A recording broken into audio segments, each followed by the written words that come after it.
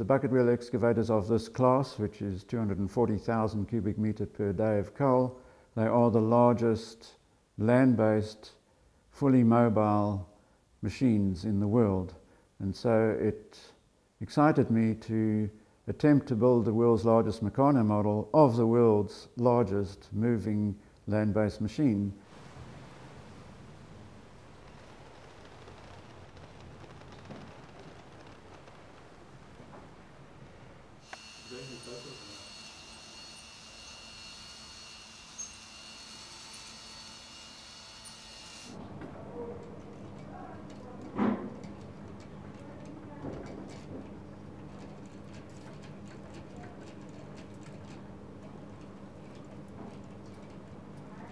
It started to decline in the 1960s with the arrival of Lego and particularly overseas with the arrival, of television, colour television, and then further decline took place with the arrival of the computer and computer games for youngsters where they could achieve instant gratification as opposed to spending hours trying to solve problems and achieving uh, a result from that, a workable result from that.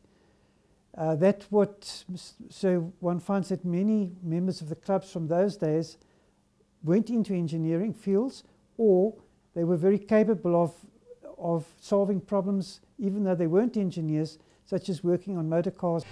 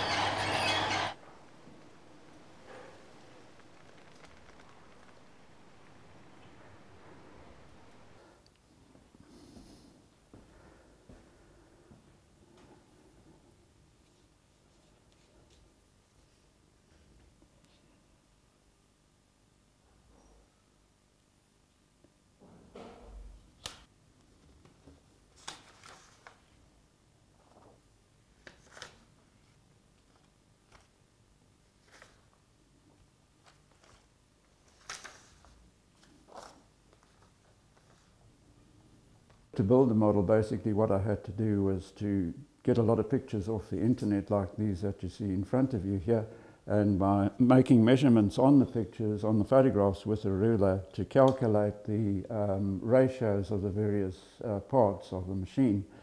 Um, that's because I did not have the uh, actual plans of the machine.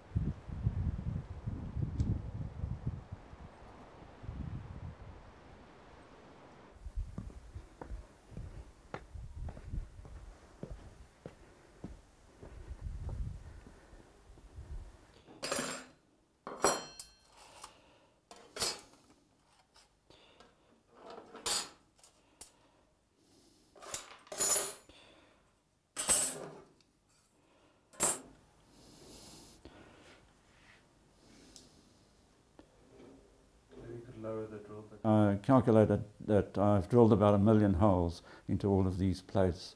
Um, if you stack that one on top of each other, it's about a kilometre of drilling, a kilometre deep hole drilled into mild steel, which is quite a thing to ask your little domestic uh, drill press over there to do.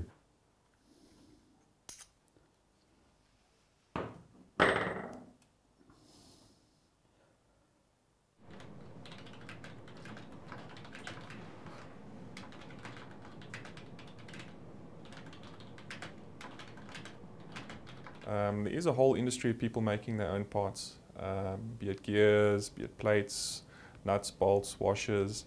Throughout the range, there's people out there making equivalent parts.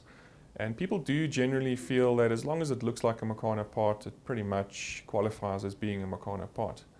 Yeah, here we are. If you want to go and have a look at the very back there.